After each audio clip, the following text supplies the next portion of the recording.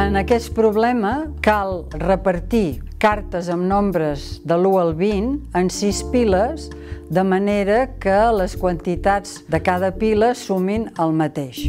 Ara el que farem és analitzar i preparar aquest problema, tenir previstes una colla de coses perquè quan el proposem als nens nosaltres puguem donar resposta a totes aquestes qüestions que han anat sortint. Per afrontar aquest problema, en primer lloc, cal esbrinar quin és el valor de la suma dels nombres que conformen les diferents piles. Per això, cal sumar els nombres de l'1 al 20, aquesta suma dona 210, i distribuir aquests 210 amb 6 piles vol dir que cada pila serà eh, una suma de 35.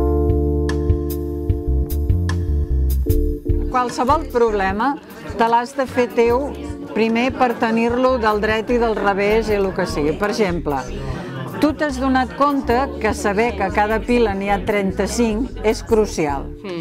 Llavors, imagina't que els nens comencen a fer piles sense haver previst això, que és molt probable. Sí, segurament. Bueno, tu els has de deixar. Clar. L'estona que sigui, si veus que això no funciona i passa molta estona, pots veure quina pregunta i l'has de tenir mínimament preparada, perquè tu saps que això és crucial per poder fer les piles.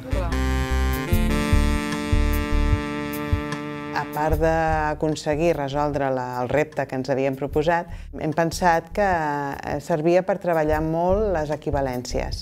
Havíem d'anar descobrint doncs, de quines maneres podíem variar-ho. Per exemple, agafàvem el 15, doncs el 15 es pot descomposar amb 12 i 3 o amb 10 i 2, i és una manera de fer eh, descomposició numèrica. Per altra banda, planteja l'ús d'estratègies de càlcul mental que es poden aplicar a la resolució d'aquestes situacions.